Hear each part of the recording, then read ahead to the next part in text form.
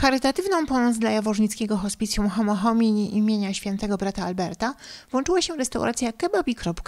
Dzisiaj będzie się tam działo wiele dobrych rzeczy, a wszystko z myślą o Jaworznickim Hospicjum. No tak naprawdę rozpoczynamy już o godzinie 12, czyli w momencie otwarcia lokalu. Wolontariusze wyruszą na planty, na rynek jaworznicki z puszkami. Będziemy zbierać pieniążki dla hospicjum e, Homo Homini w Jaworznie, no bo potrzebują pomocy, w związku z tym taka inicjatywa, żeby połączyć e, nasze coroczne spotkania, koncertujemy e, w kebabi. Kropka z pożyteczną inicjatywą zbierania pieniędzy. Zapraszamy osoby starsze, osoby młodsze na nasze wydarzenie. E, Dla młodszych firma MyDay, nasz partner, e, nasza, nasze, nasi przyjaciele przygotowali zamek dmuchany, więc będą mogły dzieciaki skorzystać. Dla najmłodszych również mamy brokatowe tatuaże, będzie maszyna z popcornem, będą zabawy z bańkami mydlanymi. Będziemy się starać tak ten czas zająć, żeby każdy z nas coś dla siebie.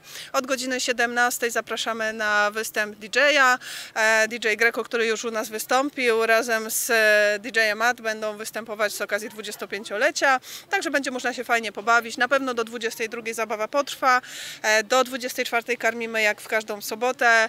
No jeżeli będzie trzeba, no to będziemy bawić się dłużej i też kwestować. Pamiętajmy najważniejsze, że zbieramy dla hospicjum, bo tego potrzebują. No i zapraszamy też na naszą stronę, na grupę, na której są aukcje. Można e, fajne rzeczy sobie kupić, e, vouchery od naszych partnerów, od osób o wielkim sercu, które chcą przekazać coś dla hospicjum. Także można licytować już teraz. Zapraszamy.